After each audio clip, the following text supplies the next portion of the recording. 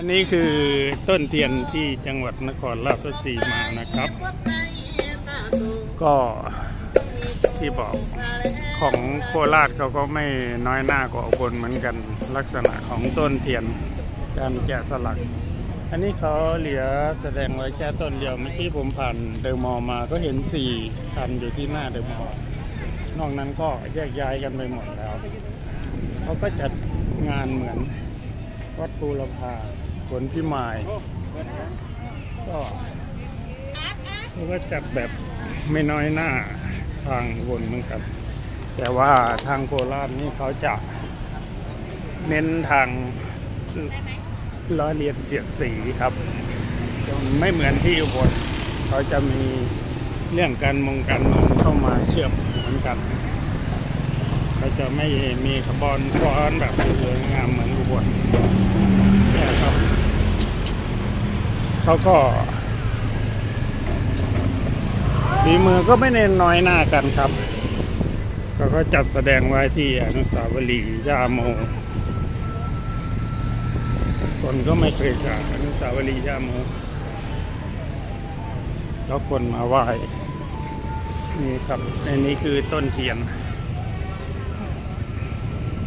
ที่โคราชเมื่อสักครู่ผมผ่านเดอะมอมาผมเห็นอีกสี่คันอยู่ที่หน้าเดอะมอแล้วผมก็คงจะไม่ลงไปถ่าย อันนี้ผมจะ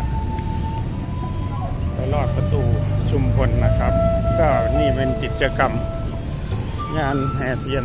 เข้าพรรษาของโคราชผมไม่ได้มีโอกาสมาดู ผมดูที่อุบลครับ อันนี้ก็มีชม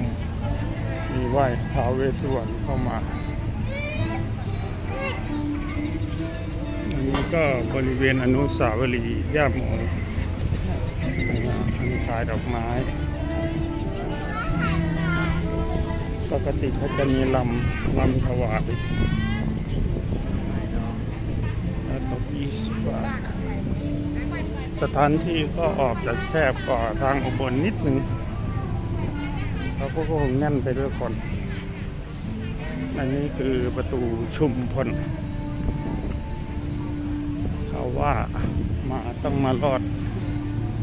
ประมาณนั้น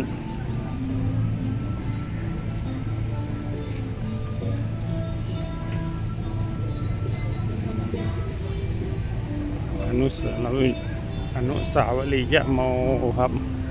คนก็มาลำมาไหว้แก้บน อยู่ตลอดแม่ค้าลอตเตอรี่น้อย ประตูชุมพลครับ เพราะว่าใครมาเดินรอดตรงนี้แล้วจะโชคดี ผมก็อีกคนหนึ่งผมก็จะโชคดีวันที่ 16 ครับ ผมนึกว่าเขาจะจอดไว้ให้ประชาชนถ่ายรูปเนื่องจากสถานที่มันคับแคบประครับของโคราชเขาเลยจอดเหมือนอุบลไม่ได้ ก็ ให้เห็นคันเดียวคือตัวอย่างนะครับแต่ก็ไม่ได้น้อยหน้า ใหญ่สวยงามเหมือนกันครับ จุกจักจุกจักจักจักแล้วผมเห็นที่เดอะมอลล์มันคือคันใหญ่มากสี่คัน ก็ฝีมือช่างไทยไม่น้อยหน้าที่ไหนในโลกครับ อันนี้ก็เป็นตลาดของโคราชผมก็คงจะ ไม่ได้เข้าไปมากกว่านี้ อันนี้คืออนุสาวรีย์ย่าโมนะครับ